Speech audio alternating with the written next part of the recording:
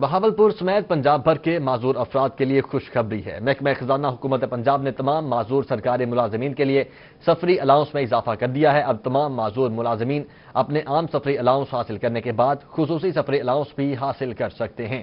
محکمہ خزانہ حکومت پنجاب نے تمام معذور سرکاری ملازمین کے لیے سفری الاؤنس میں اضافہ کر دیا ہے اور اب تمام معذور ملازمین اپنے عام سفری الاؤنس حاصل کرنے کے بعد خصوصی سفری الاؤنس بھی حاصل کر سکتے ہیں۔ بھاولپور سمیت پنجاب بھر کے معذور افراد کے لیے یہ خبر ہے۔ محکمہ خزانہ حکومت پنجاب نے تمام معذور سرکاری ملازمین کے لیے سفری الاؤنس میں اضافہ کر دیا ہے۔ بہاولپور میں معذور افراد کے لیے خوشخبری ہے۔ حکومت نے معذور افراد کے لیے خصوصی سفری الاؤنس کی منظوری دی ہے۔ تمام معذور ملازمین کو آفیشل کام کے سلسلے میں سادہ سفری الاؤنس کے ساتھ ساتھ خصوصی الاؤنس بھی دیا جائے گا۔ ملازمین کو سفر کے وقت اپنا خصوصی معذوری سرٹیفکیٹ اور دوسرے کاغذات جمع کروانا پڑیں گے۔ زیادہ معذور افراد اور ان کے کام کی نوعیت کے حساب سے سفری الاؤنس میں بھی تبدیلی کی جائے گی۔ محکمہ خزانہ نے معذور افراد کی سہولیات کے حوالے سے تمام متعلقہ اداروں کو نوٹیفکیشن بھی جاری کر دیا ہے۔ اسی حوالے سے طیب سیف ہمارے ساتھ موجود ہیں۔ طیب، یہ اہم اقدام اٹھایا گیا ہے۔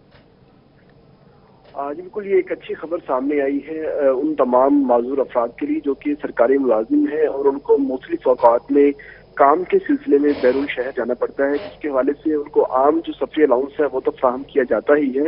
لیکن اب ان کے لیے خصوصی الاؤنس جو ہے وہ حکومت پنجاب کی جانب سے منظور کیا گیا ہے، جو کہ تمام معذور افراد کو جب آفیشیل کام کے سلسلے میں وہ باہر جا رہے ہوں گے تو ان کو دیا جائے گا۔ جبکہ اس سرٹیفکیٹ کے اس کی حصول کے لیے تمام جو معذور افراد ہوں گے، ان کو اپنا جو خصوصی معذوری سرٹیفکیٹ ہے، وہ اپنے ادارے کو جمع کروانا ہوگا، جس کے بعد وہ یہ خصوصی سرٹیفکیٹ حاصل کر سکیں گے۔ اس کے ساتھ ہی محکمہ خزانہ نے وہ تمام معذور افراد جن کی معذوری زیادہ ہے اور ان کے کام کی نوعیت بھی تھوڑی سخت قسم کی ہے تو ان کو الاؤنس کے اندر تبدیلی کرنے کی بھی اجازت دی ہے کہ ان کو الاؤنس بڑھا کر بھی دیا جا سکتا ہے۔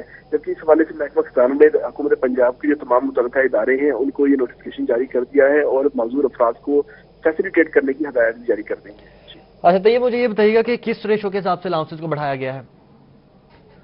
جی الاؤنس پہلے اگر ہم بات کرتے ہیں تو درجہ چہارم سے جو اوپر کے ملازمین ہوتے ہیں ان کو ہی زیادہ طور اوقات میں بیرون شہر سفر کرنا پڑتا ہے۔ تو اس میں جو سترہ گیٹ سے نیچے کے تمام جو ملازمین ہوتے ہیں ان کو ساڑھے سات سو روپے کے حساب سے سفری الاؤنس فراہم کیا جاتا ہے اگر وہ اپنے اسٹیشن سے پندرہ کلو میٹر دور جاتے ہیں۔ تو اب یہ خصوصی جو ایک الاؤنس جمع کروایا گیا ہے اس کے حوالے سے بھی جو اقدامات ہیں وہ سامنے آئیں گے کیونکہ ہر ادارہ جو ہے اپنے حساب سے اس کو الاؤنس فراہم کرے گا۔